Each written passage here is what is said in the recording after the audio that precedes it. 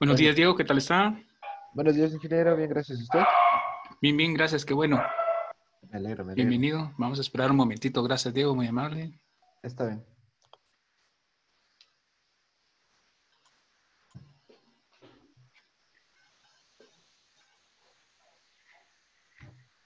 Buenos días, Inge. ¿Qué tal? Buenos días, bienvenido.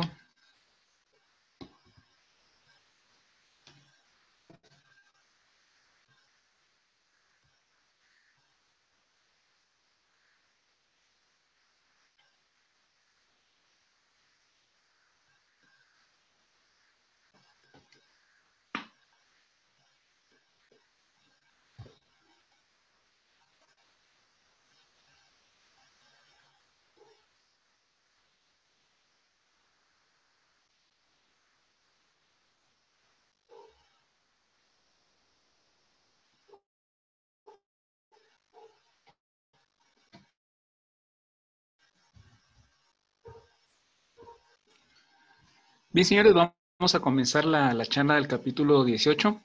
En esta charla, eh, vea que tenemos eh, un segundo capítulo eh, tomando el tema de, de, redes inalámbricas, entonces vamos a, tratar de, seguir con el tema de redes inalámbricas. Y como le decía en el capítulo anterior, creemos que para, para ustedes esta, esta etapa de los capítulos de redes inalámbricas, pues se les va a ser bastante sencillo, pueden aprovechar el, el momento del curso para, para ponerse al día en exámenes, para poder ponerse el día en laboratorios si tienen pendientes, eh, incluso en adelantar laboratorios si fuera, si fuera su, su, necesidad también. Así que vamos a, comenzar con el tema del capítulo número 18. En el capítulo 18 vamos a, platicar acerca de, de, tres cosas. Vamos a hablar acerca de las topologías de redes inalámbricas. Vamos a hablar acerca de cómo es que funciona el emparejamiento entre los access points y el wireless LAN controller. Eso es lo que, lo que menciona en el material. Y por último, un poco sobre la cobertura de antenas. Así que ese sería el, tema que vamos a, platicar hoy en la mañana. Entonces, eh, igual tenemos preparado un pequeño workshop, porque una de las dudas podría ser, bueno, en el momento cuando tenemos el wireless LAN controller, ¿cómo es que lo configuramos desde cero? Entonces vamos a, presentarles una pequeña demostración, porque si se da cuenta, en el Packet Tracer los equipos ya previamente están configurados, entonces, y, y, ya tienen direccionamiento IP, ya como que todo funciona. Entonces la idea es que usted pueda, pueda ver cómo, cómo podría ser la mecánica para la configuración desde cero. Entonces vamos a, a también hacer ese, esa pequeña demostración. Entonces comenzamos con las topologías. Vea que en el, en el material se hablan de dos tipos de, de, access points. Nosotros hemos trabajado eh, mucho con los equipos eh, autónomos, se les llama. Los equipos autónomos son equipos inalámbricos que trabajan eh, de forma cabalmente autónoma sin necesidad de un controlador o de un wireless controller. Los equipos lightweight son los equipos que, que, cabalmente se llaman así por, si se da cuenta en la traducción, es un como, como un equipo sin peso o un peso bastante menor. Lo que significa es que lo, los access points lightweight prácticamente funcionan como antenas. Son equipos que no, no tienen eh, un sistema operativo que pueda trabajar de forma autónoma, sino que depende de un concentrador al que le llamamos wireless LAN controller. El wireless LAN controller lo que, lo que permite es la, el emparejamiento de los access points para poder ofrecerles toda la infraestructura, incluyendo el sistema operativo, incluyendo la configuración, incluyendo, eh, bueno, prácticamente los equipos Lightweight funcionan como, como dirían, como antenas. Son como, como pegarle las antenas y distribuir esas antenas al wireless LAN controller. Pero como le digo, eso solo es una analogía, ¿verdad? En un, sistema de, de, de conexión inalámbrica utilizando equipos autónomos, vea que tenemos por un lado el, el, equipo core. En el equipo core vamos a tener un fast switching hacia el internet, podría ser un switch capa 3. A continuación, vea que tenemos los equipos de distribución, los equipos de acceso y hacia abajo tenemos los enlaces troncales. En esos enlaces troncales tenemos la, la conexión hacia los equipos inalámbricos. Los equipos inalámbricos, los access points, podrían eh, tener varias redes. Por aquí podrían tener una VLAN, aquí podrían tener otra VLAN y así poder cubrir cierta área dependiendo de la necesidad de la empresa. Y la idea de que existan esos enlaces eh, troncales, la idea es que se puedan ofrecer eh, conexiones en distintas VLANs, no solo en redes alámbricas, sino también en una cobertura inalámbrica. Vea que aquí tenemos las VLANs 10, la VLAN 100, la VLAN 200 y eh, tenemos una, IP de gestión, que en este caso sería la, red de gestión, que sería la, la VLAN 10 con eh, los equipos en la, en la red 10.10.10.0, diagonal 24. Quiere decir de que así es como estarían eh, los, equipos prácticamente configurados. Los SSIDs de trabajo serían Wireless LAN 100 y Wireless LAN 200 cada una en su respectiva VLAN. La Wireless LAN 100 en la VLAN 100 y la Wireless LAN 200 en la VLAN 200. La VLAN de gestión podría ser la VLAN 10, la VLAN, de, eh, la VLAN nativa podría ser la VLAN 10 también. Y, bueno, eh, al final vea que también tenemos la información acerca de los equipos de distribución con sus tres VLANs, su direccionamiento IP cada una de esas VLANs, con su máscara de subred también, los enlaces troncales permitiendo tráfico de la VLAN 10, 100 y 200. Entonces, todo amarrado en una, en una sola infraestructura. Hasta el momento, eh, pues nada, nada realmente eh, nuevo. Vea que los equipos eh, lo que van a estar ofreciendo es cabalmente cobertura a los distintos usuarios en las distintas VLANs. Entonces, los usuarios pueden, pueden recorrer las instalaciones de la oficina de ida y de vuelta y los equipos inalámbricos estarían ofreciendo la, interconectividad cabalmente sus respectivas VLANs, VLAN 10, VLAN 100, VLAN 200. bueno, la VLAN 10 eh, no sería una VLAN de trabajo, sino solo sería la VLAN 100 y la VLAN 200, como, el ejemplo que se narra en estas filminas. Así que eh, lo que ofrecen los equipos autónomos aquí, aquí es eh, la, red, el SSID, para que los usuarios puedan conectarse en el momento cuando ellos lo necesiten. En el caso de los, eh, de los equipos lightweight, hay un pequeño cambio. Vea que tenemos nuestro equipo core. Desde el equipo core debería de estar conectado en un enlace troncal hacia el wireless controller. Ese sería un enlace, un enlace troncal. El wireless controller teniendo información acerca de la VLAN 10, VLAN 100 y VLAN 200. Eh, además, eh, tenemos la capa de distribución de forma normal, la capa de acceso en las estroncales normales y las conexiones hacia los distintos access points.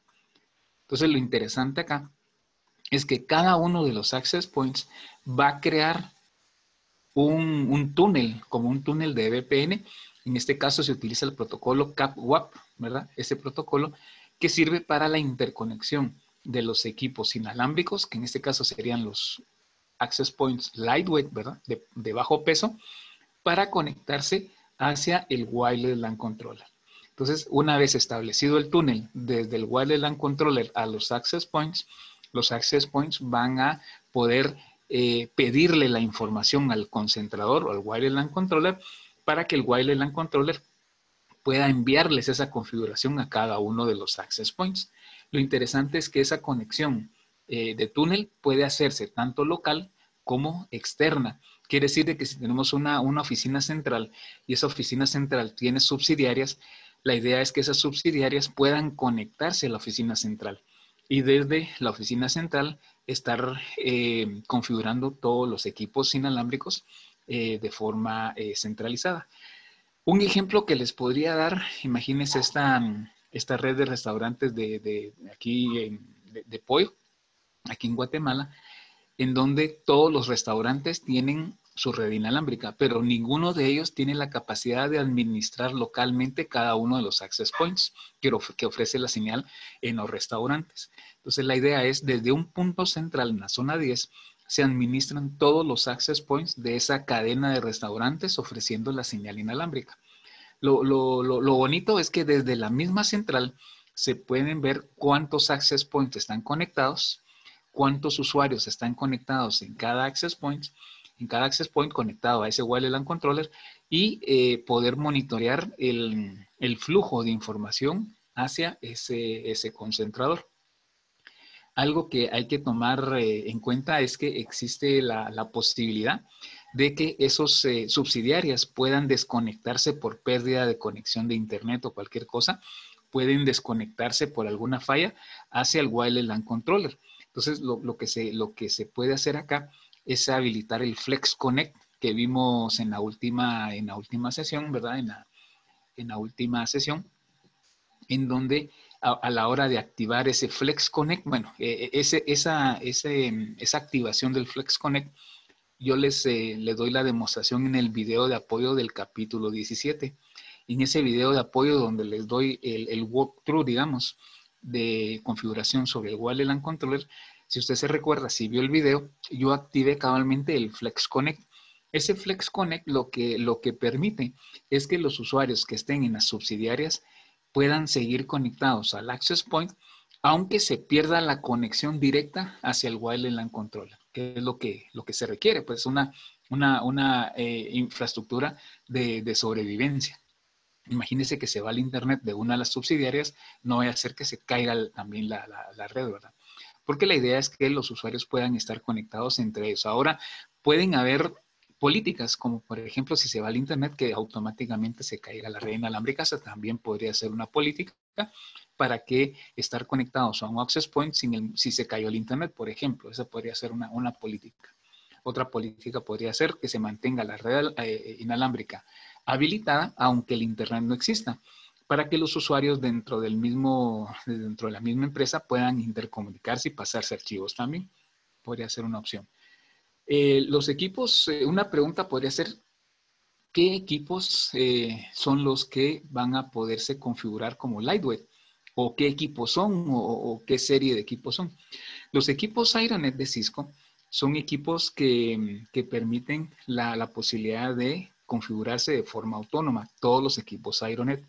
Y de igual manera, todos los equipos Aeronet es posible hacerles una actualización del sistema operativo para que participen en un entorno eh, administrado por un wireless LAN controller. O sea que agarramos el Aeronet que conocemos, le actualizamos el sistema operativo, lo conectamos a la red y lo configuramos de tal manera para que se pueda conectar al wireless LAN controller. O sea, es posible eh, tener el equipo autónomo y migrarlo como un equipo lightweight. En, de igual manera, en, Cisco existen equipos como los equipos 6000, los Access Point 6000, que son estrictamente para trabajar en un entorno eh, mm, administrado por un wireless LAN controller. O sea, hay equipos que definitivamente están creados para trabajar como, como lightweight. En cambio, los Aeronet, que es la recomendación, diríamos, de Cisco, eh, sirven para trabajar en un entorno híbrido, digamos. Podríamos tener access point autónomos y access points eh, lightweight también al, mismo tiempo. Una de las necesidades para que la infraestructura funcione de manera robusta y estable es que, vea, el routing, el route trip time, el RTT, debería de ser menor a 100 milisegundos, ¿verdad? Ese sería el delay de propagación. 100 milisegundos desde el access point hacia el wireless LAN controller. Entonces, lo que hay que eh, tratar la manera es de optimizar los recursos de, la infraestructura de red para que se mantenga una buena comunicación desde los access points hacia el wireless LAN controller. Ahora, existen soluciones alternas porque eh, hay personas, hay empresas que posiblemente costear un wireless LAN controller no sea tan fácil. Un wireless LAN controller tiene, sus, tiene su costo elevado. Entonces, eh, existe dentro de Cisco y así en otras, en otras marcas la posibilidad de que en los mismos switches de acceso podamos tener activado el software del controlador. Entonces, es posible en una misma caja tener no solo el switch capa 3, sino tener el wireless LAN controller. De, de, hecho, en los equipos Cisco, desde la familia de los 3700, desde la familia de los 3700, son equipos, son switches capa 3 que permiten la, eh, la administración de access points utilizando el software del Wireless LAN Controller. O sea que no necesariamente tenemos que comprar un Wireless LAN Controller externo para administrar los access points, sino desde el mismo, desde el mismo Wireless LAN Controller podemos administrar los equipos. Algo que hay que apuntar, digamos. Voy a regresar una filmina, si me permiten. Eh, en, la, en la solución del Wireless LAN Controller externo, esta solución eh, permite la incorporación del número de access points que tengamos licenciados en el Wireless LAN Controller. Hay Wireless LAN Controller que permiten la, administración de, seis equipos. Dependiendo de la licencia, podemos llegar a 8, podemos llegar a 12, podemos llegar a, 24, podemos llegar a 48, pero como le digo, depende del de Wireless LAN Controller que nosotros eh, compremos dependiendo del equipo que compremos, así sería el número de equipos que podamos nosotros eh, pegar a ese wireless LAN controller. Por otro lado, vea que eh, hay una ventaja a la hora de utilizar el equipo, los switches capa 3, con el software del wireless LAN controller incorporado. Vea que podemos, por cada switch capa 3, podríamos administrar cerca de 200 access points. ¿verdad? Eh, por cada uno de los switches que incorpore esa solución. Eh, una de las preguntas podría ser, mire, ¿cuánto cuesta un wireless LAN controller? El wireless LAN controller externo que pueda administrar eh, seis equipos tiene un costo aproximado de cerca de los 3.500 dólares aproximadamente. un, un, switch capa 3, un switch capa 3 con el software del wireless LAN controller activado podría llegar a costar cerca de unos 7.500 a 8.000 dólares. Entonces vea que eh, el costo no es, eh, no es bajo, es un costo alto. Pero la ventaja, como le digo, es que podemos nosotros eh, administrar ese número de equipos dependiendo de la necesidad. Quiere decir de que hay ventajas a la hora de, de tener el Wireless LAN Controller embebido, se le llama, ¿verdad? O incorporado dentro del mismo switch capa 3. La ventaja es que cada uno de los access points va a tener un túnel CapWAP directamente al wireless LAN controller o al switch al cual está conectado. Y lo, bonito acá es que se van a crear las, eh, interfaces capa 3 dentro del, switch. Vea que el switch podría tener la, administración de las distintas VLANs y la idea es que eh, el wireless LAN controller pueda administrar las distintas eh, redes inalámbricas dependiendo de la VLAN que necesite servicio. Entonces, todo va a estar amarrado en una misma caja. Realmente la configuración debería ser más cómoda, ¿verdad? Más cómoda. Existe otra, otra opción, otra opción alterna en las soluciones embebidas sobre eh, Wireless LAN Controller. Existe la posibilidad que en el mismo Access Point podamos tener en la misma caja del Access Point incorporado el software del Wireless LAN Controller. Esa, ese es el, el Mobility Express Wireless LAN Controller.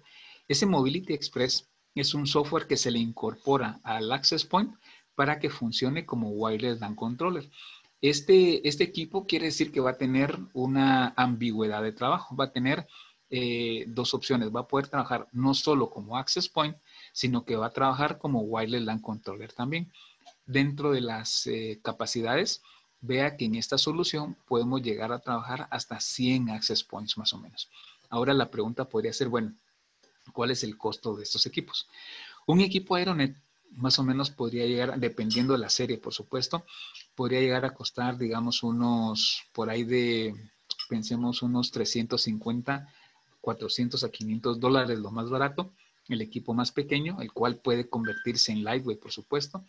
Y también eh, los equipos más grandes que pueden llegar a costar unos 4 o 5 mil dólares. Y esta solución en donde podemos tener el, el mismo access point, igual el LAN controller, podríamos llegar a, tener un costo de, podría llegar a tener un costo de por ahí de unos eh, 3.500 a 5.000 dólares. Entonces vea que es una, es una solución que no es tan cara como un switch capa 3, eh, y, podemos pensar que tampoco tan, tan restringida como un wireless LAN controller externo. Entonces es una, una solución que eh, la mayoría de empresas eh, prefiere por cuestión de costos, ¿verdad? Y, que se puedan manipular hasta, hasta 100 access points.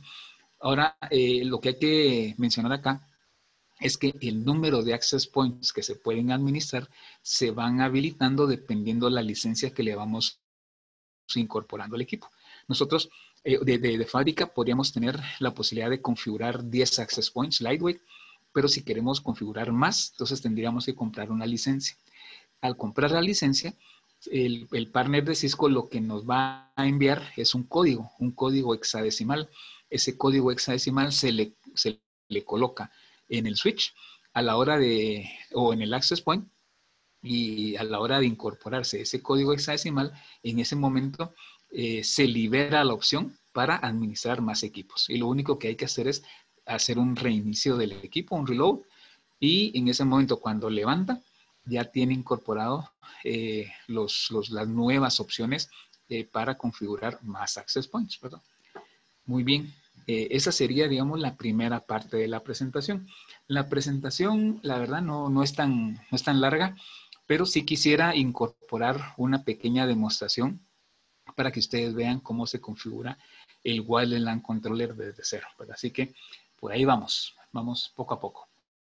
¿Alguna pregunta hasta el momento? O igual, si tuvieran alguna pregunta, por favor, solo nos activan su micrófono y con mucho gusto. En la siguiente parte de la presentación vamos a hablar acerca de cómo poder o cuál sería el proceso para hacer el emparejamiento, se le llama, ¿verdad? De los equipos eh, Access Points contra el Wireless LAN Controller. La idea es que los, eh, los Access Points puedan de alguna manera conectarse al Wireless LAN Controller y declararse como equipos, equipos vecinos. Y eh, ahí en el momento cuando se conectan hay una relación maestro y esclavo. El equipo maestro debería ser el LAN Controller y el esclavo debería ser el Access Point.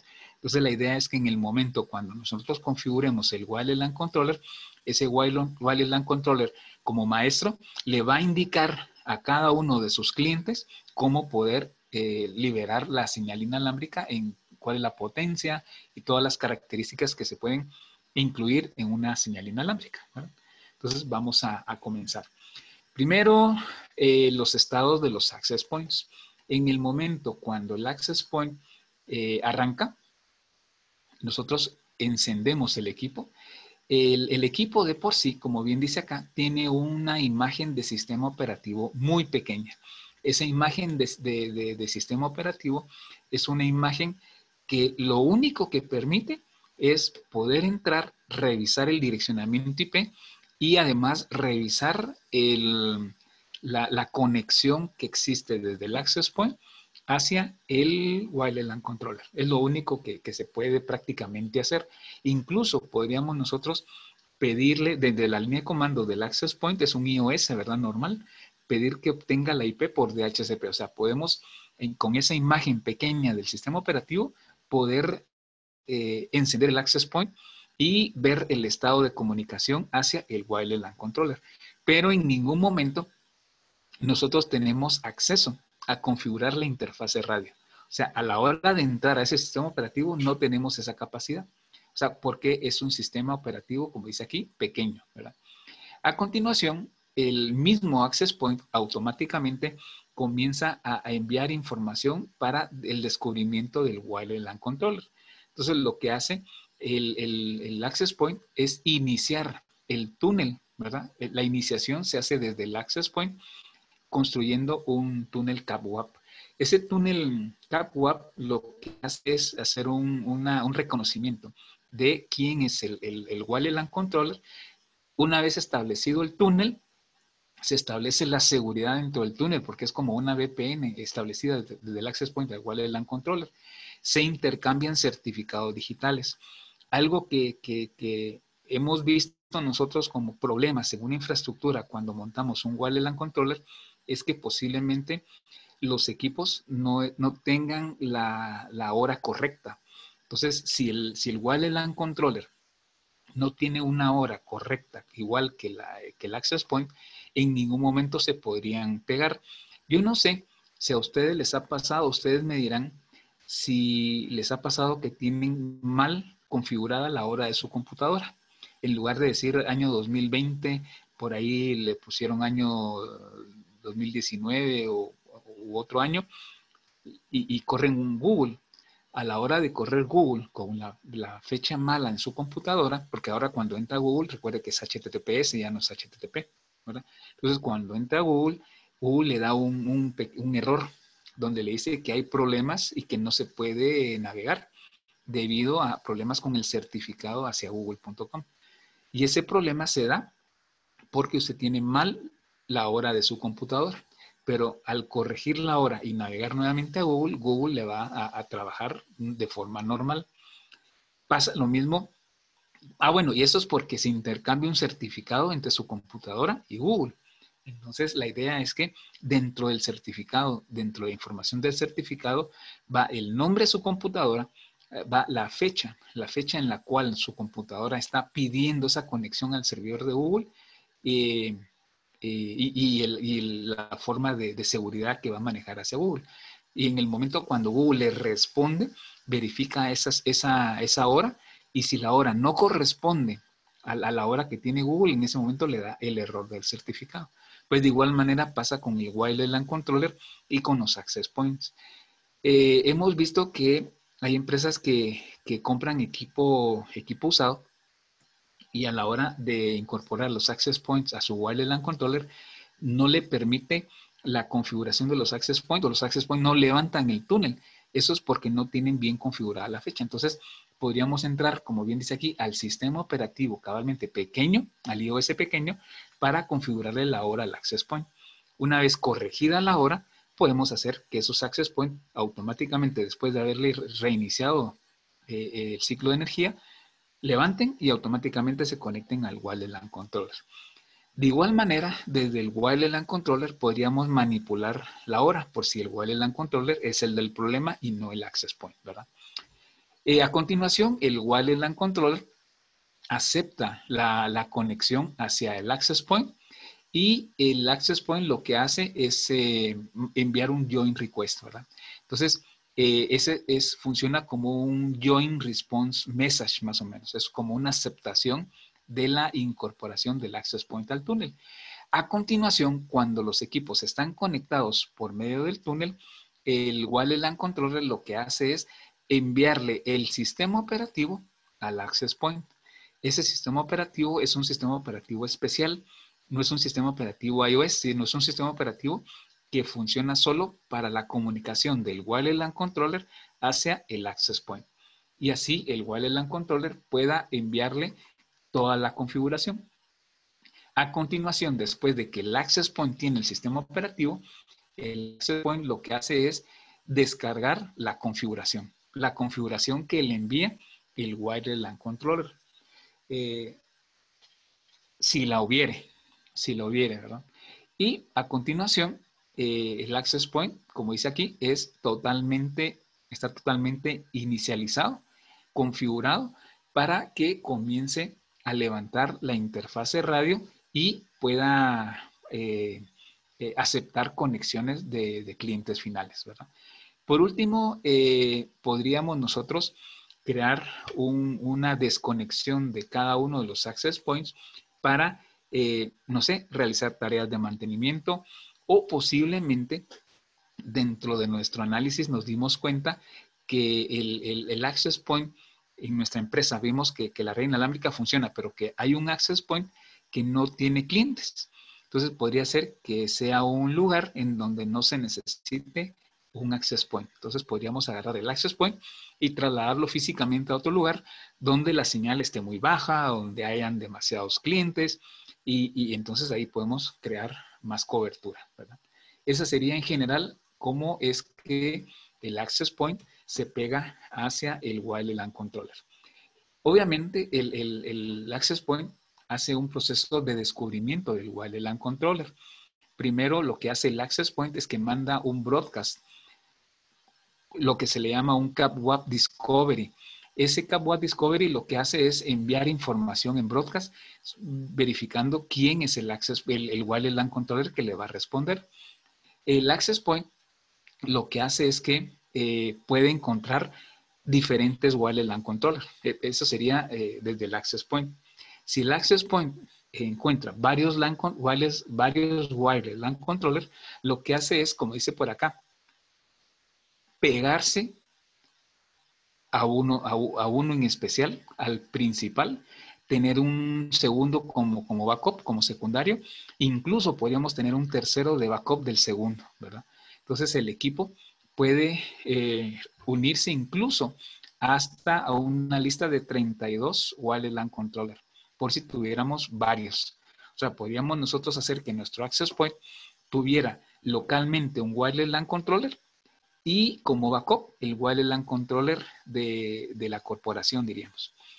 Entonces, si localmente el wireless LAN controller está fuera de línea, que el access point se pegue hacia el, el, el, wireless LAN controller centralizado de la, de la empresa. Por supuesto, el, access point necesita eh, solicitar eh, información vía DHCP. ¿Cómo, ¿Cómo podríamos nosotros manualmente decirle al access point cuál es la IP del WLAN controller. Eso lo podemos hacer vía DHCP. En el DHCP podemos configurar la opción 43 para eh, enviarle como sugerencia al access point la dirección IP exacta del WLAN controller para que ese access point se pueda pegar de forma automática al WLAN controller que nosotros especificamos. Una vez que el WLAN controller eh, se pudo, eh, pudo encontrar su, perdón, una vez que el access point pudo encontrar el, el WLAN controller, manda a, solicitar la información de dominio. El dominio sería, podría ser galileo.edu qué sé y el nombre con el cual va a estar funcionando. Eh, si ninguna de estas opciones se lograra, entonces el access point en el quinto paso lo que hace es resetearse. Y normalmente como veríamos un funcionamiento erróneo, es que los access points van a estar continuamente reseteándose, reseteándose, reseteándose. Eso es porque no encuentran o no resuelven su, su al wireless control al cual se tienen que pegar, Entonces acá, vea que eh, tenemos la, información para configurar del lado del router eh, el DHCP y, así permitirle a los access points conectarse al wireless LAN controller que nosotros digamos. Vea que tenemos que colocar el IP Forward Protocol UDP 5242. Ese sería el broadcast request del CapWAP, ¿verdad?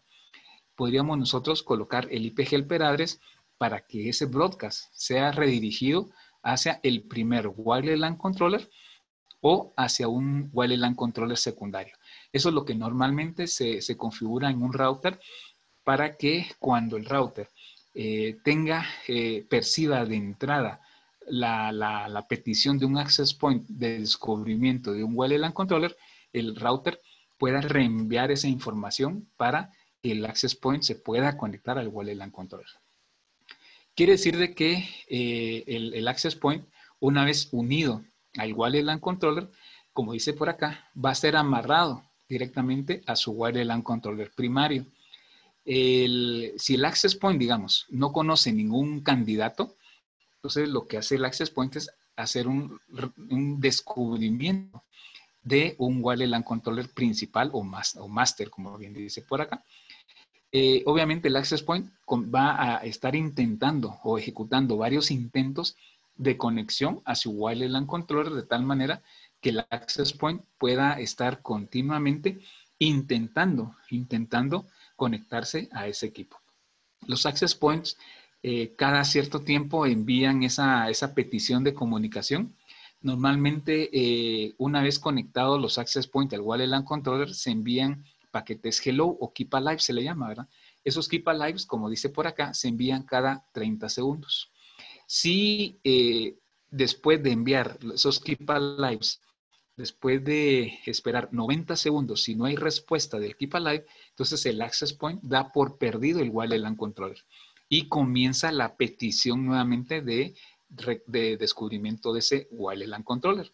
Entonces el Access Point, al no encontrar eh, una solución, se resetea de forma automática. Se resetea y comienza a hacer el descubrimiento para conectarse a su WLAN Controller, ¿verdad? En el caso de los, el modo de trabajo de estos eh, access points, podemos configurarlos de forma local, ¿verdad? Ese sería el modo default. Eh, el, modo local, digamos, es el modo en el cual los access points van a estar trabajando para una ubica, para dar una, una señal inalámbrica en una, en una cobertura que nosotros especifiquemos. Tenemos el segundo modo de trabajo de esos access points. Podemos convertirlos en monitores, en monitores de, RF, de radiofrecuencia. Entonces, los equipos estarán monitoreando, o sea, se convertirán en sensores. Eso es prácticamente lo que hacen los access points. Los convierte usted en sensores y hacen que los equipos comiencen a descubrir redes inalámbricas que eventualmente no van a estar autorizadas. Entonces, eso es lo que, y nos van a mostrar esa información. Está la configuración del Flex Connect, que ya hemos hablado. Podemos convertir el access point en un sniffer para que nos capture los frames sobre wireless y que nos los despliegue y que nosotros podamos agarrar esa información y analizarla. Lo, más interesante de este modo sniffer, si quieren le ponemos un asterisquito por acá, es que en, este modo sniffer, eh, la captura se guarda en formato Wireshark. Entonces nosotros podemos agarrar la captura, abrirla en Wireshark y analizarla en Wireshark. Interesante. Está también el Rogue Detector, que es una, es una forma para poder eh, escuchar señales inalámbricas en el, en el, aire y ver qué redes existen. Eso sería un Rogue Detector. Muy bien, esos serían los distintos modos de trabajo del wireless LAN, de, los access points conectados al wireless LAN controller. Ahora, en general, vea que también podríamos nosotros crear la comunicación entre equipos vía bridge. Podemos configurar los bridges desde el wireless LAN controller. Podemos utilizar el Flex Bridge, o sea, la misma configuración del Flex Connect, solo que para los bridges. Y también podríamos nosotros configurar eh, los equipos con el SE Connect. El SE Connect lo que hace es eh, poder agarrar información y esa información redirigirla a un software el cual se, le, se llama MetaGeek Channelizer o Cisco Spectrum Expert, así se le llama. El Cisco Spectrum, eh, Spectrum Expert es un software que sirve para poder ver la saturación de los canales, ver qué canales están siendo más utilizados, qué canales tienen más ruido, ver cómo está el nivel de la señal con respecto al ruido. O sea, es un software de administración como el, como obviamente guardando sus distancias, como el Wireless Analyzer, podría ser, o como el Acrylic Wi-Fi, ¿verdad? Solo que ya es un software directamente de Cisco. Entonces podemos nosotros agarrar los access points y que manden la información a este software para que nos funcione como un analizador de espectro. De hecho, eso es lo que, lo que hace, ¿verdad? El access point convertirse en un analizador de espectro. ¿verdad? Muy bien. Eh, antes de, pasar a trabajar la, última etapa de la presentación con respecto a, las antenas, quisiera mostrarles eh, pues una, herramienta de software que está disponible para que ustedes la puedan, la puedan utilizar. Y se las voy a mostrar por acá, a ver si me permiten. Vamos a ver si puedo mostrar por acá. Denme un momentito, aquí está. Hay una, eh, una herramienta de, software que, posiblemente eh, les llame la atención. Es una herramienta que particularmente yo la utilizo mucho dcloud.cisco.com. No sé si ustedes ya habían escuchado de esa herramienta. dcloud.cisco.com es una nube que está disponible para las personas que quieran utilizarla del lado de, cisco.com. Es eh, una nube pública, diríamos, solo que obviamente para usarla necesitamos que usted ingrese con su usuario y contraseña. Así que eh, esa, eh, eh, la, página de dcloud.cisco.com es una página en donde Cisco tiene distintas soluciones armadas y configuradas para que usted las pueda utilizar. Dentro de dcloud, usted podría, digamos, si tiene dudas, si, tiene dudas de cómo es que funciona un wireless LAN controller, por ejemplo, puede conectarse a dcloud.cisco.com y puede eh, utilizarlo, puede utilizar el equipo para, una prueba de concepto imagínese que usted es una persona que se dedica a la venta de equipo Cisco, por ejemplo, y necesita dar una demostración como una tarea de preventa. Entonces usted podría utilizar la nube de dcloud.cisco.com, crear o, abrir la topología previamente armada con el equipo que usted piensa pues, vender y puede armar una demostración para sus clientes. Entonces lo interesante es que el Cloud, como le digo, es una herramienta que utilizan mucho los partners para la tarea de, venta o la fuerza de venta hacia, hacia sus clientes, ¿verdad? Así que les, invito pues a, trabajar, si les llama la atención, con, con Cloud, ¿verdad? Muy bien, entonces voy a, voy a trabajar con la nube de D-Cloud. Previamente en D-Cloud yo tengo armada una topología que, como le digo, ya, ya está construida por, por previamente por Cisco. Entonces, eh, ¿qué es lo que tenemos acá? Lo que tenemos es una estación de trabajo que está conectada a esta, esta VLAN principal, ¿verdad? A continuación tenemos un Active Directory conectado aquí a esta nube principal. Tenemos un router conectado a esta red principal también. Y además tenemos una VLAN número 2. En esta VLAN número 2, vea que tenemos conectado el Wireless LAN Controller. Tenemos conectado el Wireless LAN Controller y además tenemos eh, conectado el Wireless LAN Controller en esta VLAN de gestión, que sería la VLAN número uno. Entonces vea que tenemos la VLAN número uno, que sería la VLAN de gestión, ¿verdad? Tenemos la VLAN de gestión y además eh, tenemos la VLAN principal, tenemos la VLAN 2, ¿verdad? Y la VLAN primaria, que es la de trabajo. Desde la estación de trabajo, yo voy a conectarme al Wireless LAN Controller por medio de esta VLAN número uno y una vez configurada eh, toda la interfase de, direccionamiento IP del WLAN Controller, ya voy a conectarme posteriormente vía la VLAN primaria para la VLAN número 2 y ya voy a entrar directamente a trabajar con el WLAN Controller. Esa sería la topología que voy a, que voy a estar utilizando. Entonces, para, para trabajar con esta topología, voy a, ya tengo una conexión hacia la estación de trabajo. La estación de trabajo es, eh, la tengo por acá. La debería tener por acá activa.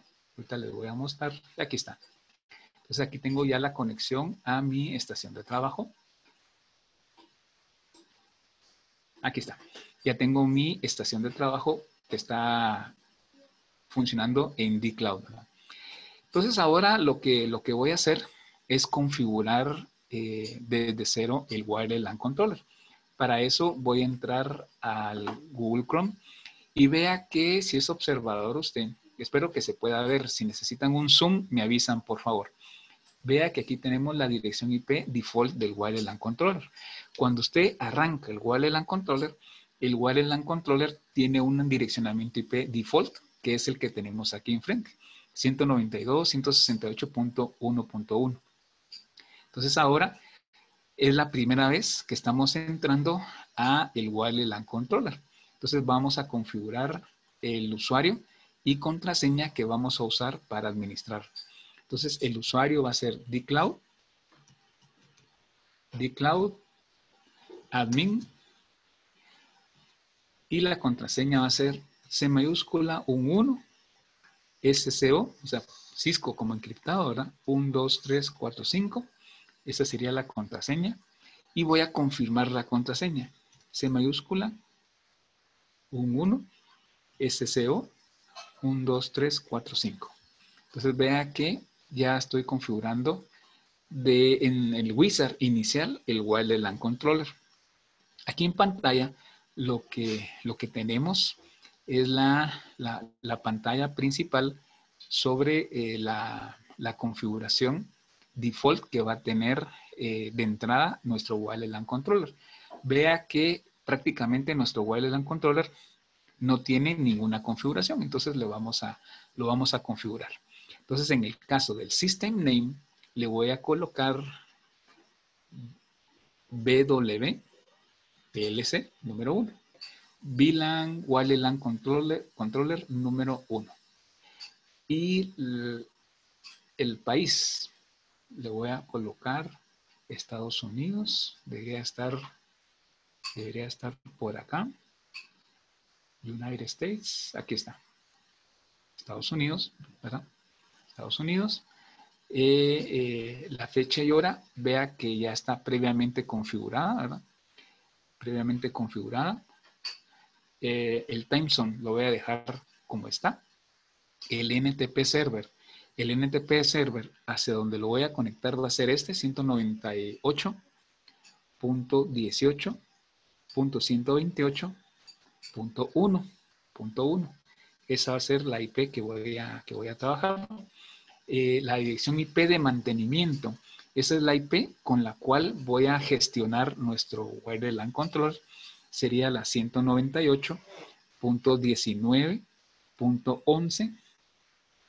198.19.11.10.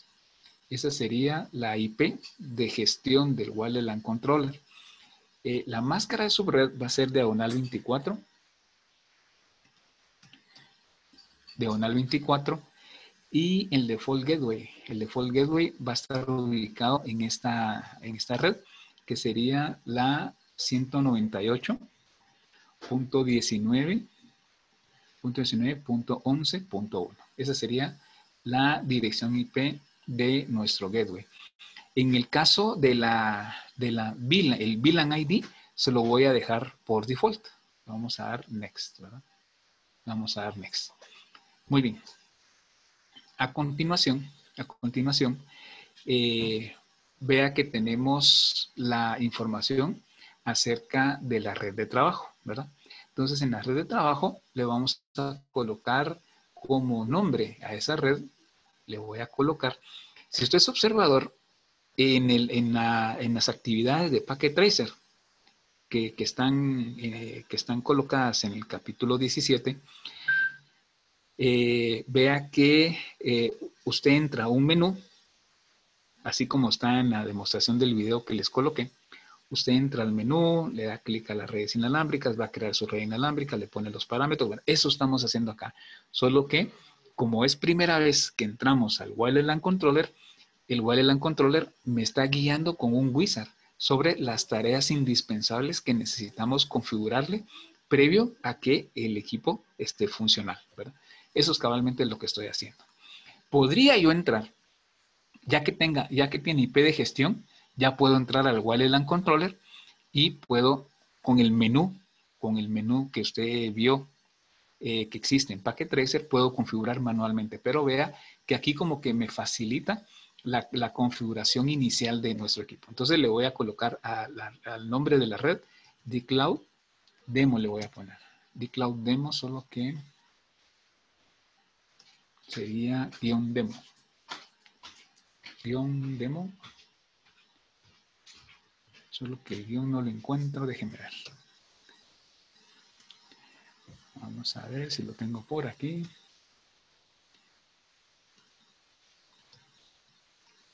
Espérenme un momentito, por favor. Guión, guion, guion, aquí lo tengo. Espero. Ahí está. Este no es el punto, espérenme. Téngame paciencia ahí, por favor. Ahí está, The Cloud Demo. Como recuerde que estoy trabajando de forma remota a la, nube de D-Cloud, entonces el teclado como que no, no sé qué idioma está. En el caso de la seguridad va a ser WPA2 personal. Podría ponerle em, empresarial y aparte tengo que configurar el, el, radius. Solo que eh, en, la recomendación de la marca es que si vamos a configurar eh, una, seguridad empresarial en donde vamos a configurar un radius, esa no sería una tarea configurable en el wizard inicial porque eh, recuerde que necesitamos que el radius esté disponible. Entonces no vaya a ser que no esté disponible en el momento del deployment. Entonces la idea es que una vez funcionando el Wireless Controller, podamos configurarle manualmente el WPA2 eh, empresarial o Enterprise. La forma de configurar WPA2 Enterprise eh, está en el video de apoyo para la configuración del Wireless Controller del capítulo anterior y de igual manera está incluida dentro de las actividades de Packet Tracer del capítulo anterior, así que eso no, no, no hay complicación. En el caso del passphrase o la contraseña, sería C mayúscula, 1 SCO, ¿verdad? 1, 2, 3, 4, 5. Vamos a confirmar, C mayúscula, 1 SCO, 1, 2, 3, 4, 5. Muy bien. La VLAN, eh, en este caso la VLAN va a ser la VLAN de gestión, ¿verdad? La VLAN de gestión. ¿Y qué más? El DHCP server eh, lo voy a dejar en blanco porque voy a configurar todo manual en esta VLAN de gestión. ¿Y qué más? Eh, con eso estaríamos, ¿verdad? Si quiero yo tener una VLAN de, de visitantes, puedo encender esta opción. En este momento no la voy a, no la voy a encender. Entonces acá tengo ya todos los parámetros y únicamente le doy siguiente. Sigo con la siguiente parte. Vea que son tres etapas las, que existen para configurar. Ya estamos en, la última etapa.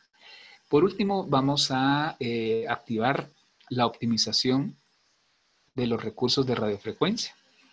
Y eh, vamos a, a dejar eh, los recursos en nivel típico. Aquí es una, una barra que puedo manipular. Lo voy a dejar en nivel típico. La idea es que yo puedo, digamos, definir la densidad de usuarios a los cuales les voy a dar servicio. En, en, esta densidad es el número de usuarios que yo pueda trabajar. Entonces la pregunta es, ¿cuántos usuarios voy a permitir que se conecten a mi red inalámbrica? Eso depende del número de access points. En general, deberíamos de considerar alrededor de un, por ahí de un máximo de unos 120 usuarios por access point. Y si estamos trabajando VLANs, podemos considerar más o menos unos 60 usuarios por cada una de las VLANs que vamos a tener. Eh, entonces, si, si le pongo alta densidad de usuarios, podría llegar a crecer en un número de hasta, no sé, hasta unos 1024 usuarios por cada uno de los access points instalados. Pero recuerde que eso depende mucho del tipo de información que vamos a transmitir. En este caso, por ejemplo, tengo que definir qué tipo de tráfico voy a, voy a permitir. Entonces, si defino que el tráfico va a ser datos, si van a ser datos, como que casi que de forma ilimitada puedo aceptar usuarios. Pero si coloco data and voice, estoy limitando a que el número de usuarios por cada access point se limite más o menos en, unos, en unos 120 usuarios aproximadamente. Entonces hay que multiplicar el número de access points por más o menos eh, ese número de usuarios para saber cuántos usuarios voy a, voy a permitirle la, conexión, ¿de acuerdo? Muy bien. Eh, la virtual IP address. La virtual IP address le voy a poner 1111. Esa es una dirección IP, como dice aquí, virtual de sobrevivencia por si en algún momento eh, tengo algún problema, puedo eh, tener control del access point utilizando esta IP virtual, ¿verdad? Y le damos eh, default en el grupo de movilidad y en el Service Port Interface le vamos a dar que utilice DHCP, le vamos a dar siguiente. Y bueno, entonces vea que lo único que me faltaría es, si voy aquí abajo, es darle aplicar para que aplique la configuración y le doy OK. Entonces está grabando la configuración. Una vez grabada la configuración, hay que esperar más o menos unos 5 minutos a que el equipo esté disponible. Entonces vamos a, vamos a esperar a que el equipo esté disponible. Para mientras voy a intentar a ver si, si ya está el equipo disponible. Voy a conectarme ahora sí por la IP de gestión que dijimos. Recuerden que la IP de gestión, ahorita vamos a entrar a ella, sería HTTP, perdón, HTTPS dos puntos, sería diagonal, diagonal, perdón, el dos puntos. Ahora tengo que buscar el dos puntos, señores. Aquí está. Aquí está.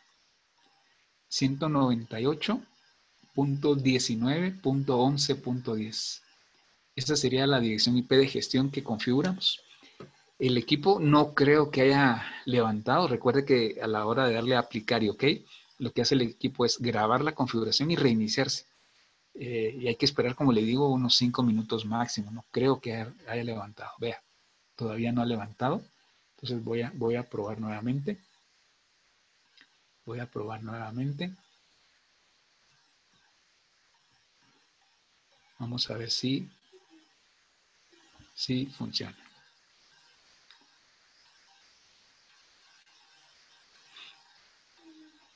Igual ya tenemos un link aquí, vea.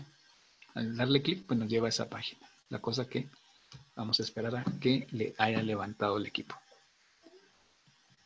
Faltará tal vez un minuto, tal vez. Vamos a esperar. Ya, ya levantó.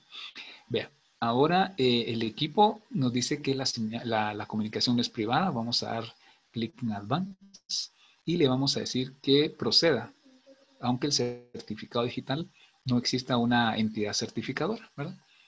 Entonces ahora, ya que estamos en el equipo, vamos a darle login. Eh, recuerda, el, usuario que dijimos, si no estoy mal, sería dcloud, dcloud admin, dcloud admin. Y la contraseña era C mayúscula, un 1, SCO, 1, 2, 3, 4, 5. Y ahí le vamos a dar sign in. Recuerde que en Packet Tracer este dashboard no está disponible. En este momento estamos viendo que está disponible porque eh, el equipo es real, el que estamos trabajando, no es una simulación, es un wireless LAN controller real, ¿verdad? Entonces vea que nos está desplegando nuestro, nuestro eh, dashboard. Y aquí tenemos ya funcionando nuestro wireless LAN controller. Muy bien. Entonces vea que nos está recopilando toda la información acerca de las redes, acerca de los access points, de los, clientes activos, de los access points que se han encontrado de forma no autorizada. Y bueno, vamos a esperar un momento. No sé si tienen alguna pregunta hasta el momento, señores. No, ingeniero, no, ingeniero, por el momento no. Ah, todo bien. Qué bueno, qué bueno. Ese, ese Cisco Cloud es uh, parecido a lo que estamos trabajando en los laboratorios. Sí, es muy parecido, eh, Diego. Es una buena pregunta porque hay una diferencia. En el, en el Cisco Modeling Lab, usted puede utilizar el equipo que usted quiera y crear la topología que usted quiera. En, en, el caso de D-Cloud ya son topologías previamente armadas. Esa topología que les enseñé no, que creo que está, ¿dónde la tengo? Aquí está. La topología que le voy a mostrar aquí. ¿Dónde la tengo? Déjeme ver dónde la tengo. Bueno, ah, sí. Ahorita le voy a enseñar. Que con tantas ventanas, usted ya estoy haciendo bolas aquí. Entonces, esta topología, esta no la creé yo, sino que esta viene previamente armada en el, en el dcloud.cisco.com. Y de hecho, eh, si es observador, hay que apartar el equipo. De hecho, me queda más o menos hora 50 minutos todavía para poder trabajar con la topología. Usted tiene que apartar la topología, tiene que definir qué día, a qué hora quiere apartar la topología, cuánto tiempo quiere usar la topología para eh, usarla igual que el Cisco Modeling Lab. Eh, la, la, diferencia que creo que les golpea la vista es que el equipo que tenemos aquí, señores, es equipo real, no es un simulador. O sea, no es un Cisco Modeling Lab, sino que son equipos que están en una nube, ya en un rack, en, la nube de dcloud.cisco.com para que nosotros la podamos usar. ¿verdad? lo, único virtualizado, sin duda, son, las, son workstations y, las, y los servidores. Pero, por ejemplo, el Wireless LAN Controller no es una simulación ni este equipo de acá, ¿verdad? Así que de igual manera hay que apartarlo por si usted quiere utilizarlo, pues bienvenido. La idea es que eh, pueda usted utilizar el recurso, ¿verdad? Así que les invitaría en el, momento que ustedes quieran entrar a dcloud.cisco.com. Tienen que, eh, si no tienen su cuenta de cisco.com, tienen que eh, crear su cuenta únicamente. Posiblemente les acepte la cuenta de entacal.com. Yo creo que sí se la debo aceptar. Pero si no se las aceptara, no hay problema. Crean una cuenta en dcloud.cisco.com. Eso es lo de menos, ¿verdad? Y aparentemente no me, no me, vamos a ver aquí. Voy a nuevamente entrar porque no, no ha cargado, no ha cargado el, dashboard completamente. Vamos a esperar. Vamos a cargar nuevamente la, la página, a ver qué, qué habrá pasado. Vamos a darle login. Vea que es la misma página que ya conocemos. Yo previamente ya ingresé los, credenciales y ya estoy entrando al dashboard. Vamos a esperar un momentito ahí. Entonces, Diego, ¿sí ve la diferencia? Sí, ingeniero, ya, ya, Buenísimo. le- ya- ya entendí cómo va esto. Buenísimo. Pero igual deja de ser interesante para poder Claro. probarlo, ¿verdad? Claro, esa es la idea, ¿verdad? Diego? Poder probar equipos que, que posiblemente a nuestra mano eh, no, no- no lo tenemos, pero qué bueno que los podamos, que los podamos usar. Bueno, y eh, lo que sí veo, no sé si se dan cuenta que como que nuestro Google Chrome tiene algún problema, porque todos los tags, vea que los está colocando eh, tal cual, con, como que ese es un problema. O sea, voy a, lo que voy a hacer es cerrar mi, Chrome, porque al parecer tuvo algún problema. Entonces voy a levantar nuevamente. Vamos a ver qué otro navegador tenemos. Probemos con este, a ver qué tal. Vamos a, a usar este. Entonces aquí sería https. Ah, tan baboso. Como tengo problema aquí con los dos puntos, aquí está. Entonces aquí sería, la dirección sería, eh, si no mal recuerdo, la dirección sería 198.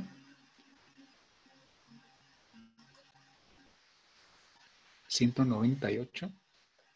...ahí está... ...punto... ...19...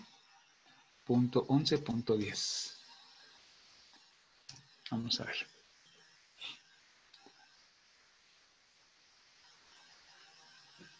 Tal vez aquí sí nos funciona mejor. Vamos a darle clic en login. El usuario y contraseña lo tenemos por aquí, que sería dcloudadmin.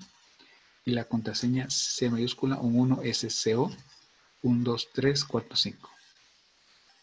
Ahora sí, a ver qué tal nos va.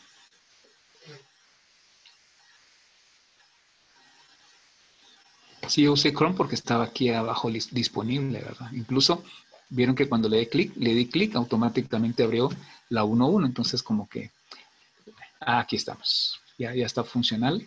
Vea que tenemos aquí nuestro dashboard ya funcional completamente.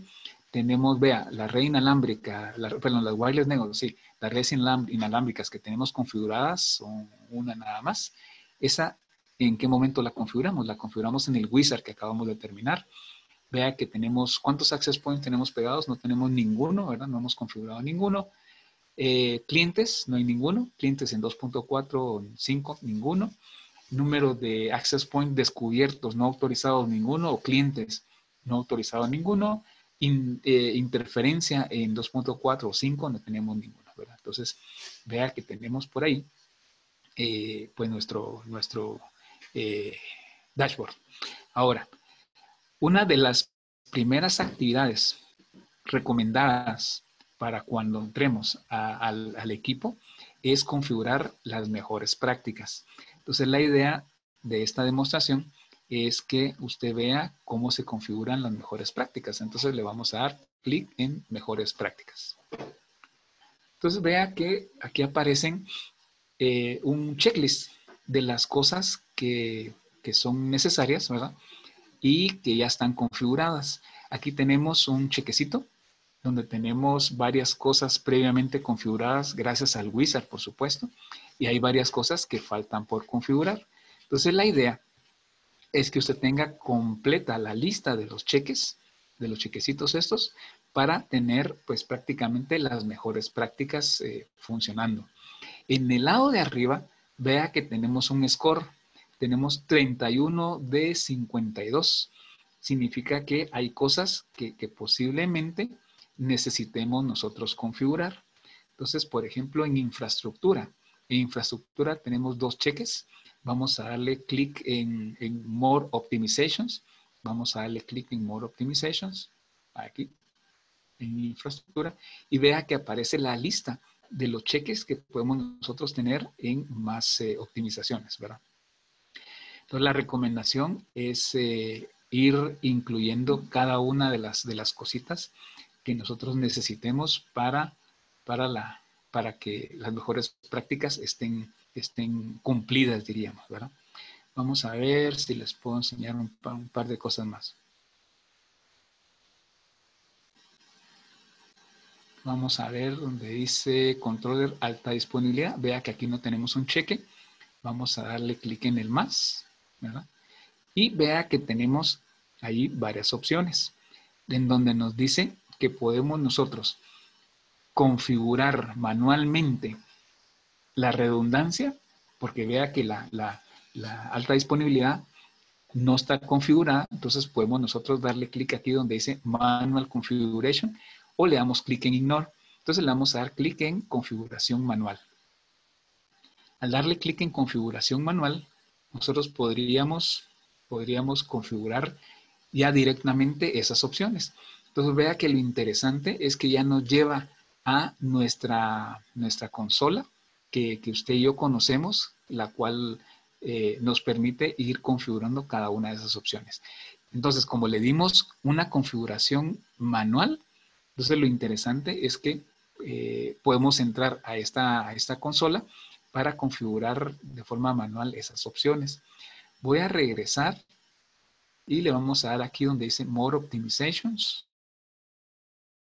Aparece el otro, otro, otro, otro, otra característica que no tiene un cheque. Por ejemplo, Load Balancing.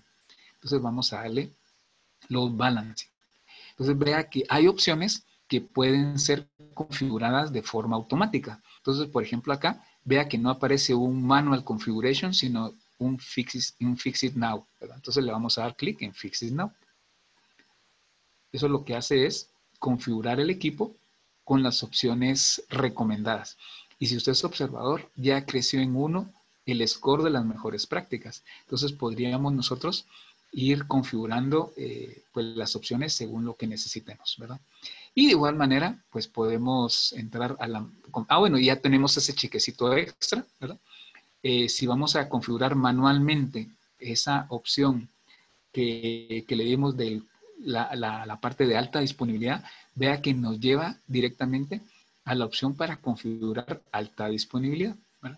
Vamos a darle clic en Monitor, vamos a darle clic en, vamos a darle clic en Monitor, si me permite un momentito, que me permita aquí, aquí. Vamos a esperar aquí en Monitor. Vea entonces que tenemos en el resumen la dirección IP de gestión, que es por la cual nosotros estamos entrando a configurar el equipo, Vea que tenemos eh, la versión de la imagen de sistema operativo 86110. Tenemos una imagen de sistema operativo de emergencia. Esta imagen de sistema operativo de emergencia sirve por si en algún momento el access point llega a perder conexión hacia el access point. Incluso el WLAN controller tiene un sistema operativo por si se corrompe el principal, ¿verdad? Información general. En la parte de abajo tenemos el resumen y aquí faltaría pues solo levantar los access points y hacer que se conecten en su respectiva configuración que, nosotros tenemos por acá. Eh, para configurar las redes inalámbricas, pues ya lo vieron en el video. Ahí tenemos la forma de configuración de las redes inalámbricas. Eh, podemos configurar incluso una red inalámbrica con seguridad. Como este equipo es real, podemos configurar las opciones necesarias y vea que funciona sin duda mucho más rápido que Packet Tracer.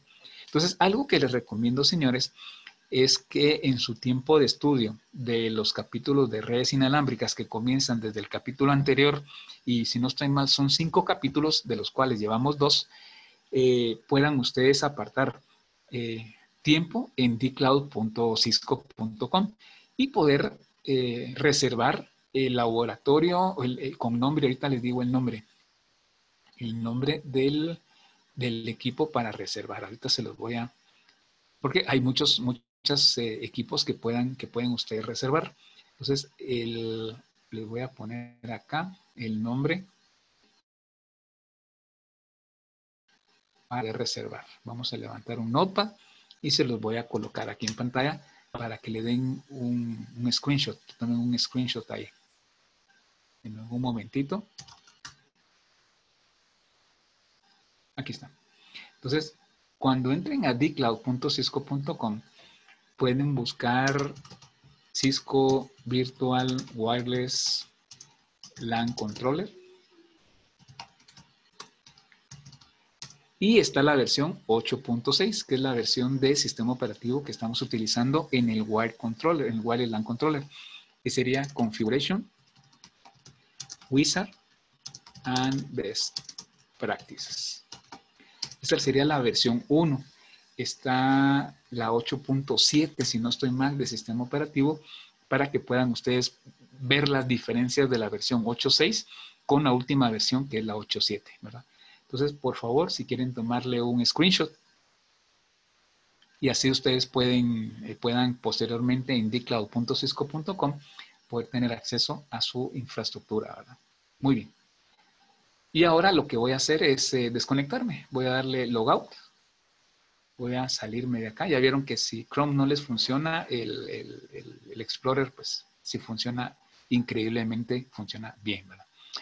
Y me voy a desconectar. Para eso, para eso le voy a dar, vamos a ver aquí. Sí, luego. Me voy a desconectar. Y ya estoy desconectado. Y listo, ya estoy ya eh, fuera de, de, nuestra topología. Ya no tuve necesidad de entrar al router, pero podría entrar al router ya que el equipo tiene dirección IP. Puedo entrar y bueno. En el dcloud.cisco.com, vea que tenemos detalles. En detalles nos dice la información acerca de, de la de la topología que estamos utilizando. Eh, aquí aparece mi usuario. En este momento, durante las tres horas de del apartado, yo en este momento soy el dueño del equipo. Nos aparece el número de sesión, eh, la hora de finalización, de inicio y finalización, ¿verdad? Eh, inició a las 8 y termina a las 12 horas de Guatemala. tiene habilitada la VPN, que ese sería el default, ¿verdad? y vea que esos son los parámetros para conectarse a la VPN en dcloud.cisco.com del equipo apartado. Para conectarse a dcloud.cisco.com ya con el equipo arrancado, ¿qué tenemos que hacer? En el AnyConnect colocamos esta dirección de conexión y a la hora de conectarnos a esa dirección, el AnyConnect nos pregunta usuario y contraseña. Y aquí aparece el usuario y contraseña que, se, que me fue asignado para esta sesión. Y de igual manera, eh, a usted le aparecerá tal vez otro usuario y otra contraseña, ¿verdad? Acá podemos, como dice acá, copiar y pegar para que el AnyConnect funcione. Y si usted es observador, aquí en la parte inferior, yo tengo el AnyConnect, vea, está conectado. Ya tengo la conexión ahí, eh, el AnyConnect, utilizando estos parámetros. Entonces, funciona igual que el Cisco Modeling Lab, exactamente igual. Obviamente, necesitamos que usted tenga instalado el AnyConnect. Esa es una de las necesidades, ¿verdad? Eso sería en Session Details. En Servers, si le doy clic en Servers, vea que me aparecen todos los equipos que tengo disponibles. Por ejemplo, si quiero ver el router, el CSR, vea que está disponible, vea que nos aparece la dirección IP que tiene el equipo, incluso nos aparece una dirección IP pública para podernos conectar a él directamente. O sea, podemos hacerle ping al equipo, al, al CSR, utilizando esta IP, pero dentro de la VPN puedo yo utilizar esta dirección IP, que cabalmente, si usted es observador, es, la, es el gateway de la VLAN Wireless que configuré en el Wireless LAN Controller. Aquí nos aparecen las características del equipo, tiene un CPU, tanta RAM, está funcionando, etcétera. Con respecto a la estación de trabajo, veamos la, estación Workstation que la cual me conecté. Vea que yo me conecté a un remote desktop. Entonces, eh, para correr o para conectarme a la estación de trabajo, el Windows, Windows eh, tiene su remote desktop. Vamos a poner remote en Windows y por aquí aparece el remote desktop. Aquí está escritorio remoto, le damos clic y podemos utilizar cualquiera de las dos direcciones IP. Si estoy dentro de la VPN, puedo usar la 1.2 o si no, puedo utilizar la IP pública, cualquiera de las dos. Al darle conectar, nos va a pedir usuario y contraseña que, está en el, documento adjunto de, eh, este laboratorio. Hay un laboratorio, hay un archivo PDF que se descarga, que está disponible para para este equipo, ¿verdad? Y de igual manera, vea que puedo entrar también sin necesitar hacer algo al, eh, aquí aparece el Wallet Controller Wizard. Entonces aquí aparece la IP de nuestro Wallet Controller, ¿verdad? Recuerde que originalmente para invocar el Wizard entramos a este IP. Una vez configurado el Wizard, tenemos que entrar al Wallet LAN Controller utilizando esta IP. Así como, como lo hicimos hoy cabalmente durante la sesión. Eso serían servers. Eso serían servers. Eh, además de servers, vea que tenemos la opción de recursos. Miremos los recursos. Aquí en recursos tenemos eh, un archivo en PDF. Le voy a mostrar. Espero que aparezca. Lo vamos a abrir en, en Firefox. Sí, abramoslo en Firefox. Es un archivo PDF en donde le dan pues un walkthrough, ¿verdad? Una guía paso a paso para configurar su wireless LAN controller. ¿Qué necesitamos como requerimiento en su computadora? Solo el AnyConnect. Solo el AnyConnect para conectarnos a este D-Cloud, ¿verdad? Al equipo. Y nos narra eh, la solución que estamos observando. Nos aparece la, topología que ya vimos, ¿verdad? Nos aparece eh, el inicio del, del pequeño laboratorio de demostración entonces aquí nos aparece cómo conectarnos a la computadora, el usuario y contraseña y bueno, todo lo que hice yo en pantalla por medio de esta guía paso a paso que, eh, utilizamos para, esta sesión. Entonces, como, como ven, esa se descarga eh, acá donde dice recursos, ¿verdad? Si tuviera duda de cómo se utiliza la nube de cloud, pues aquí aparece un Get Start, ¿verdad? Aparece también eh, cómo conectarse a los dispositivos utilizando el Cisco Connect, pero cosa que usted ya sabe hacerlo, ¿verdad? No, no hay mayor ciencia ahí. Y por último, nos aparece el tab que dice Devices. Aquí en Devices, pues nos aparecen, eh, deberían de aparecer los dispositivos que tenemos disponibles, pero no nos aparece nada. Bueno, ni modo. Y bueno, cuando, cuando, termine de usar, cuando termine de usar la nube, cuando termine de usar la nube, la, la recomendación no es solo salirse, sino darle en, ¿verdad? Porque puede que otra persona necesite el recurso y no lo pueda usar a consecuencia que lo estamos usando nosotros, ¿verdad?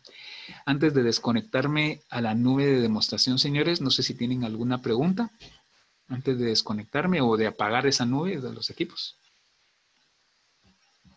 No hay género de... ¿Estamos bien? Vaya.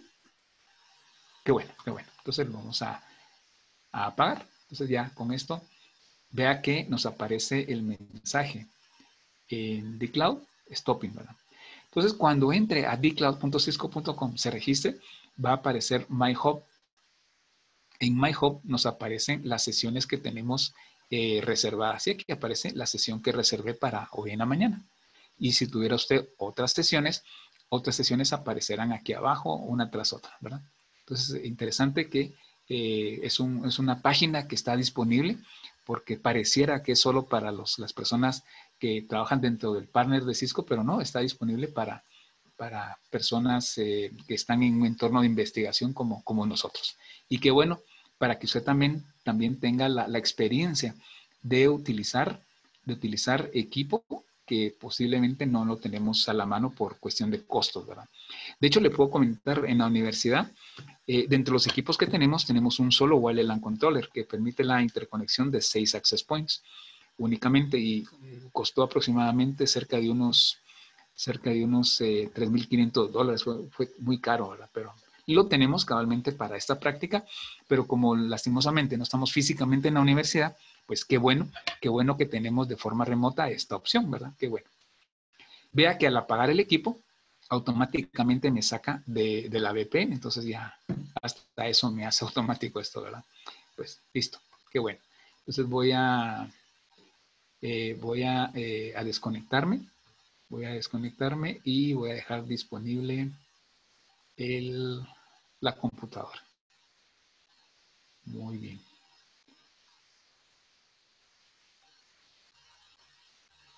Muy bien.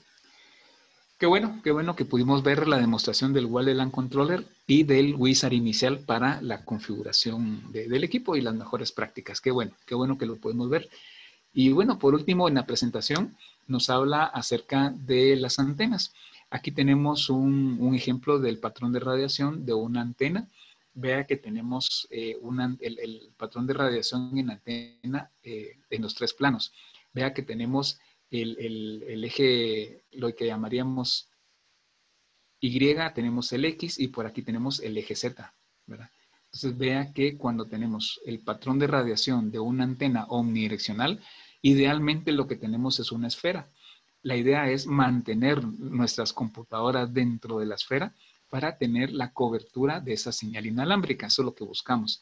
Lastimosamente, por cuestiones físicas de las mismas antenas, como, como bien lo dijimos en su momento, eh, es imposible que tengamos un caso ideal, pero lo que tratamos la manera es eh, entender cuál es el patrón de radiación de nuestras antenas para poder optimizar estos patrones de cobertura. Entonces es importante que podamos nosotros diferenciar las antenas direccionales de las antenas omnidireccionales, cosa que, ya lo, hicimos. Y recuerdo que dejamos como una primera actividad en, en el curso de redes inalámbricas el Cisco Wireless Explorer Game. Ese Cisco Wireless Explorer Game, como siempre, se los recomiendo para que lo busquen en Google, pues si no se recomienda, no, no se recuerdan. Ese Cisco Wireless Explorer Game le puede dar ayuda de la comprensión de cómo es que funcionan las antenas direccionales, las antenas eh, omnidireccionales y por aquí lo que le llaman normalmente las antenas isotrópicas. La antena isotrópica, recuerde que es una antena ideal, esa antena no existe, es una antena donde de forma perfecta la, antena va a irradiar un, círculo perfecto, pero esa, como le digo, ese caso ideal no existe.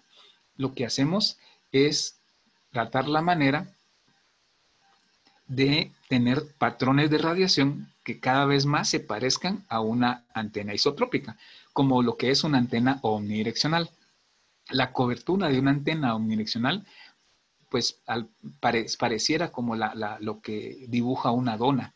Esa sería la cobertura de una antena omnidireccional. Y tenemos la, eh, cobertura que irradia una antena direccional. Eh, depende de la marca de la antena, de la calidad de la antena. La radiación podría ser eh, de una forma o de otra, pero en general es la, la forma que tenemos acá dibujada, ¿verdad? Hay antenas que tienen más ganancia que otras, dependiendo de la, calidad y del material que estén construidas. Por ejemplo, acá tenemos un par de antenas direccionales. Vea que aquí tenemos el patrón de radiación de lo que podría ser una antena eh, Yagi. Y aquí tenemos lo que podría ser el patrón de radiación de una antena Patch. Ambas son antenas direccionales.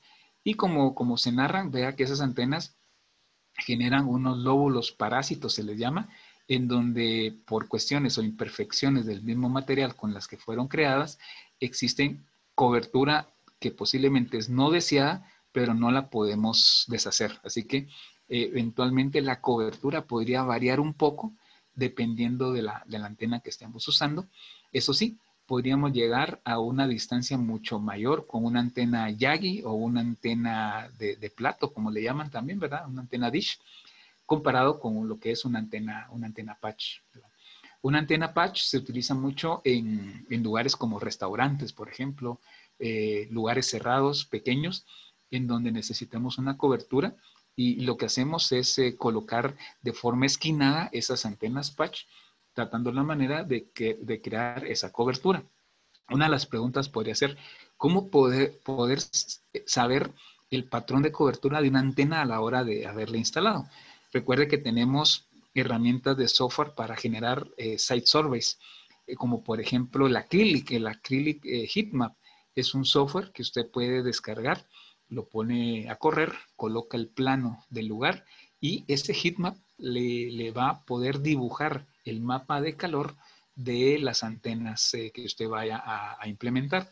Entonces, indirectamente, no solo le va a dibujar el, el, mapa de calor, sino que le va a dibujar la cobertura que tienen esas antenas con su patrón de radiación, ¿verdad? Recuerde que hay antenas que trabajan en polarización vertical y hay antenas que trabajan en polarización horizontal. Entonces, las antenas eh, con polarización una u otra van a ser necesarias en el momento cuando usted tenga tal vez mucha interferencia. Si tiene una antena vertical y tiene mucha interferencia, pues la recomendación es utilizar una antena con polarización horizontal. Eh, ¿Cómo seleccionarlas o cómo saber cuál es cuál? Eso depende del datasheet de la antena que usted vaya a adquirir. Entonces siempre hay que tener a la mano, digamos, la, el datasheet o la descripción de la antena a la hora de comprarla para ver cómo es la polarización En algunos casos, en algunas marcas, la polarización, default es la vertical, en otras marcas es eh, horizontal. Eh, ahí sí que depende de, lo que nosotros vayamos a, comprar, ¿verdad? Lo más común es tener polarización vertical, ¿verdad? Las antenas omnidireccionales, eh, como la que se muestra por acá, es una antena, es una antena patch, esta de acá, perdón, es una antena Robert Dox se le llama, ¿verdad? Es una antena que es la que traen los equipos eh, default. Cuando usted compra un access point, lo que, lo que trae normalmente es una antena de este tipo. Eh, oscila entre 2 dB y 5 dB de ganancia. Dependiendo de la antena, pues va, a funcionar bien y dependiendo también de la, de la topografía del lugar también. Aquí tenemos un, equipo, un 3500, si no mal recuerdo. Es un access point como el que, como el que tenemos en el laboratorio 415. Y ese, ese equipo, pues, tiene incorporado una antena omnidireccional. Vea lo interesante del equipo, es que en ningún lugar tiene una antena eh, externa.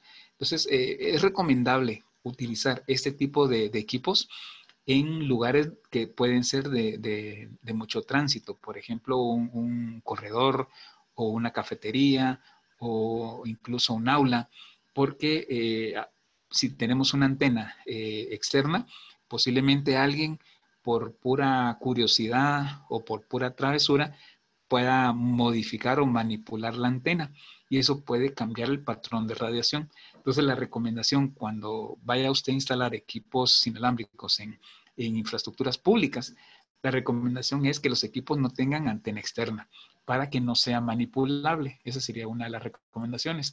O que no se roben las antenas también, que es algo muy común también, ¿verdad? Eh, las antenas eh, direccionales, ¿verdad? Pueden eh, ser de, distintos tipos. Vea que el patrón de radiación de unas o de otras variará, depende de la, del, tipo de, señal, ¿verdad? Aquí tenemos la, la, señal la radiación en tres dimensiones, vea que si dibujamos las tres dimensiones nos aparece la cobertura de esa, de, esa antena. Esta antena es una antena patch, ¿verdad? Que eh, de alta ganancia diríamos, ¿verdad? Podría ser hasta de 10 dB. Esta, esta antena pues crea un patrón de radiación como para cubrir, ¿qué le digo? Un restaurante completo. Esa es una de las aplicaciones más comunes o dentro de, dentro de hospitales también es muy común. Las antenas Yagi, vea que el patrón de radiación es bastante distinto a las antenas Patch. La antena Yagi, dependiendo del tipo de antena, nos puede permitir la, radiación de señal en un sentido muy específico. Entonces, podríamos nosotros cubrir enlaces punto a punto, podría ser. Las antenas Yagi anteriormente eran muy utilizadas en, los techos de las casas para que eh, los televisores pudieran recibir la señal de televisión eh, local. Y imagino que en muchas casas todavía se, sigue utilizando ese tipo de antenas. Eh, ese es el mismo tipo, el mismo concepto para las antenas de Wi-Fi que son, que son Yagi, ¿verdad? Las antenas Yagi hay unas que son de baja ganancia, otras que son de alta ganancia, hasta llegar a unos 14 dBi, por ejemplo, ¿verdad? Como eh, me imagino que se recuerda a usted que tenemos en el laboratorio 415. ¿verdad? Y tenemos las, las antenas que definitivamente disipan de una mejor manera la señal de radiofrecuencia, que serían las antenas de plato, que cabalmente son las más caras. Y si usted es observador, el patrón de radiación es muy claro, ¿verdad? El patrón de radiación es muy claro y podemos llegar, según lo que dice la marca, hasta 40 kilómetros con una antena de 30 dB, ¿verdad? Metiéndole pues 100 miliwatts de potencia a, la, interfase, a la, interfase radio. Entonces vea que eh, es una, solución muy útil para enlaces punto a punto, igual que las antenas YAG, ¿verdad? Diría yo que esta última parte también eh, tal vez no nada, nada nuevo para usted, gracias al curso de redes inalámbricas. Y bueno, terminando la presentación, tenemos los cuadros para que usted pueda ir copiando los puntos importantes los eh, vea que eh, nos incluyen comandos porque el, capítulo no espera que eh, tengamos laboratorios al respecto. Aunque en el capítulo anterior colocamos un archivo .rar en donde están las actividades para que usted pueda practicar de, primera mano con un LAN controller. ¿De acuerdo? Ojalá que, les parezca eh, bonito el tema y que sea bastante interesante y al final de cuentas fácil para ustedes. Entonces, señores, ¿alguna pregunta antes de terminar la sesión de hoy? ¿Algún comentario?